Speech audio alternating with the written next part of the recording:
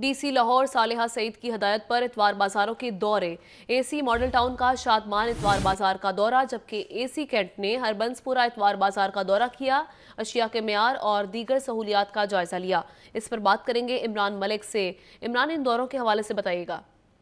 آمنا کٹانا بالکل additional deputy commissioner general Tauqeer Ahmed Zia کا اتوار بازار میاں پلازا کا دورہ کیا جوہر ٹاؤن میں یہ اتوار بازار واقعہ جہاں پہ اشیاء کی کوالٹی کو چیک بھی کیا گیا جبکہ ماڈل بازار کے انچارج احتشام کو وارڈنگ نوٹس بھی جاری کیا گیا ہے پھلوں کی ناقص ہونے کی وجہ سے۔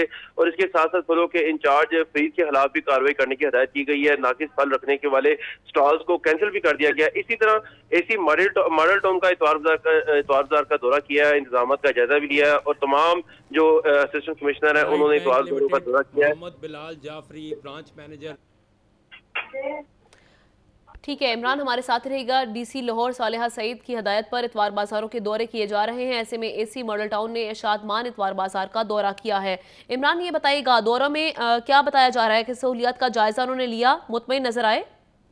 آمنا بالکل، چونکہ آج اتوار بازار اس والے سے روزانہ جو ہے وہ چھ ماڈل بازار لگائے جاتے ہیں، جس میں اسسٹنٹ کمشنر کو ڈی سی لاہور کی طرف سے ہدایت جاری کی گئی ہیں کہ تمام اتوار بازاروں کو بہترین طریقے سے ان کے انتظامات کیے جائیں، جہاں پر پھلوں کو ناقص انتظام کی وجہ سے وہاں پر انچارج جو ہے احتشام کو وارڈنگ نوٹس، جبکہ فرید کے خلاف کاروائی کرنے کی ہدایت کی گئی ہے، ناقص پھل رکھنے والے سٹالز کو کینسل بھی کر دیا گیا، A C model town, A C cantt اور A D C G Taqir Haider Kazmi کا اتوار بازاروں کا دورہ ہوا ہے اور اس کے ساتھ ساتھ ڈی سی لاہور کا یہ بھی کہنا ہے کہ تمام بازاروں میں جو ہے چھ بجے تک جو ہے وہ وہیں پہ موجود رہیں تاکہ صارفین کو جو ہے وہ آسانی فراہم ہو سکے اور شکریہ عمران ملک